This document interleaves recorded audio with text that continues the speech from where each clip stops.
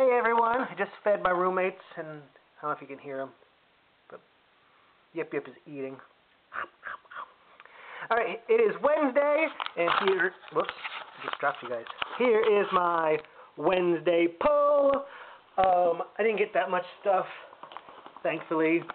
Um, apparently my local comic book store is upset that DC in their infinite wisdom of how the hell do we beat up a dead horse besides, I don't know. They're, okay, let me see if I can explain this.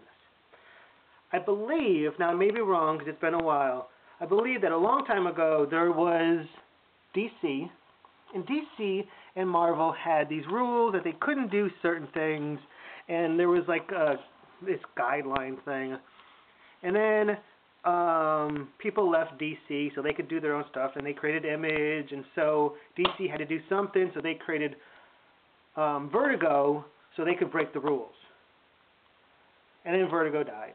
I think there was a woman who was in charge of it, and she was like like the best. She, they said, you know, whatever she touched was gold.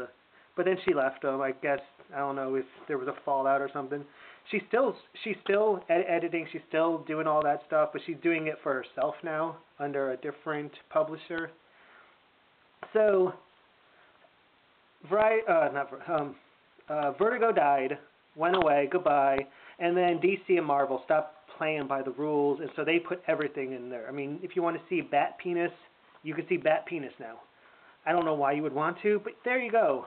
And then they started trying to bring back Vertigo but there's no reason for it because there's no rules anymore. So now Vertigo is the home of I don't know pedophiles or um, women who are promiscuous to get good reviews allegedly. Allegedly, it's it's it's a Vertigo has become a sexually deviant world and I think it's fine if you're living in your bedroom, but when you're out out in public, I don't think it's a good time to say, "Hey, guess what? I like to do weird things in the bedroom." That's just me, okay? It's just me. But um, so now they got this new comic book, and it's about where Jesus failed, and now there's a new superhero that's um, going to save things at the. I think it's called Second Coming and so Vertigo is doing that, and my local comic book store says, we are not putting that in our store. And they didn't ask me, but I would have told them, listen, one, you guys can do whatever you want. I mean, I come here because I want to support you guys, but I could always buy all my comic books online. I could, but I don't want to. If you want to make a stand, I just think it's wrong that DC is making you make a stand. DC should not have anything to do with this a religious book about the second coming and how Jesus failed and how God's mad should be on an indie title. It shouldn't be on DC. It shouldn't be on Vertigo. It shouldn't be anywhere. It should be on an indie that no one knows about and it shouldn't it shouldn't be a big deal. But DC wants to sell comic books. They want to be outrageous. They want to offend. They want to do this and so now my local comic book store is upset with DC, but whatever. All right, here's my pull. I got, of course, got Detective Comics. Again, I think the only reason why I buy these is so I can still say I'm a comic book person because um, I don't read them. But it's a countdown to a thousand, which is going to suck. We all know it's going to suck. Firefly, number three. I think there's one more coming out, and then it'll be over. Um, I haven't read it, but I'm assuming it's going to be the same as before. You know, the same story about how Mal and what is her name?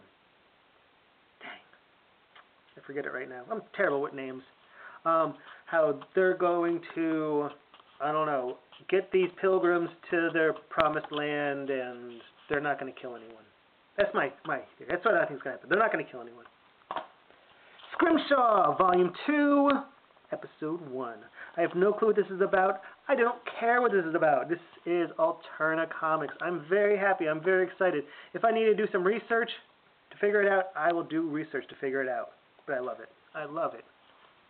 And then Army of Darkness. I did not pull this. I went to the store and I saw it, and the the shopkeeper was like, "Uh, you can't go wrong with Army of Darkness." Looks like it's a one shot.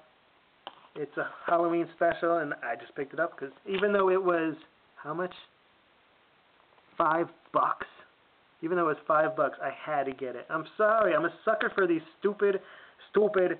I mean, you put Ash on something, and I'm like, I'm there. I, just recently resaw the original, and the way that they just call him Ashley, like, hey, it, it's nothing. Like, hey Ashley, he's like, yeah, what's up? Like, dude, you're Ash. You're not. A-. But back then, he was Ashley. He was not Ash yet.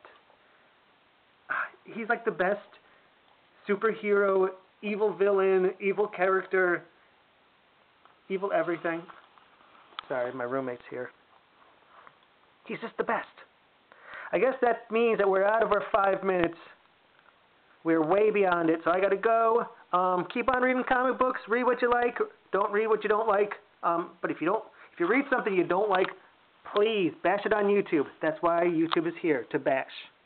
With peace and love, we are out of here. Deuce to the face. Toot toot toot. Bye bye. Do the hand thing. Do the hand thing. Do the hand thing. Do the hand thing. Do the hand thing. Do the hand thing. Bye.